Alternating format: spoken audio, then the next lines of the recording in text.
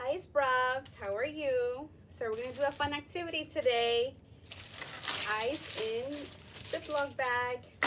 So what we're gonna do is spread the ice out and we're gonna touch it. See if it's cold, hard, soft, feel the texture. Okay, so what we're gonna do is add glitter blue paint. See what that does. So you just open it just maybe have two, three drops. We're gonna close it and then mix it. Let's see what that does. Ooh, look at that, friends. We have blue glitter paint with ice.